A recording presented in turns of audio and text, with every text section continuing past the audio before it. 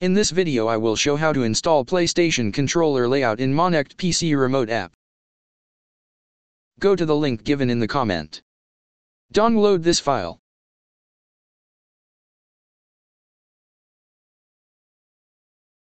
After downloading it, open File Manager.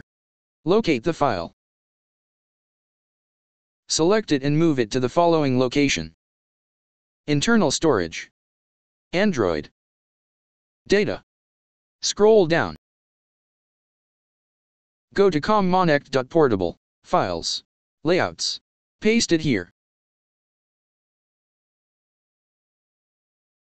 Open PC Remote app.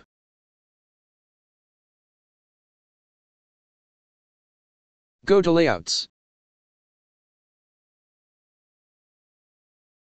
Open PlayStation controller layout. Now you can use this for playing games. That's it for today. Make sure to like the video and subscribe to my channel.